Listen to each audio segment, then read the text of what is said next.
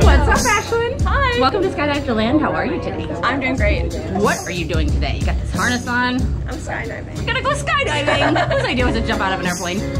Uh, my friends. Your friends. Where is he? Um, he's right there. He's going with us. You're jumping too. That's a good sign. How you feeling? Amazing. It's your idea. Oh yeah. A lot to live up to. How you feeling? I feel great. Super excited. You wanna say hi to anybody at home watching the video? Uh, yeah, my family, mom, my dad, uh, Dylan, and Tyler. Awesome. You ready to go make him jealous with this awesome skydiving video? Yes. Let's do it. A big high five. I'll see you in the plane,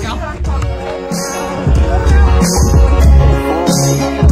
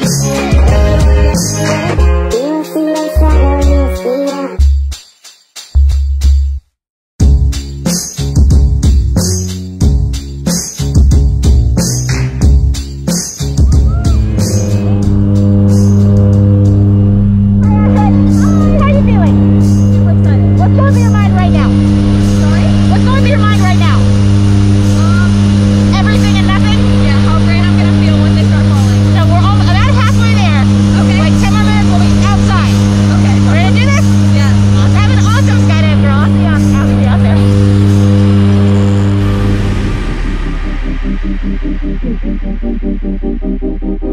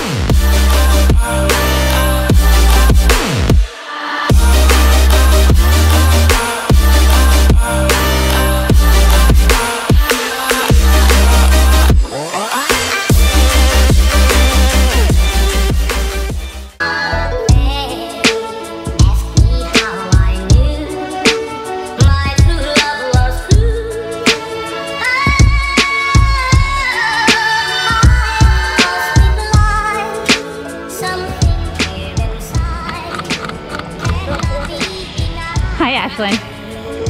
Welcome back to Earth, girl. You just jumped out of an airplane. Yeah. How you feel? Like I'm gonna throw up. You said you want Maybe one too many spins. Overall, the skydive was good. I think you did great. Thanks for holding my hand up there, girl. Thanks for coming to Skydive Land. We'll see you next time, Ashlyn.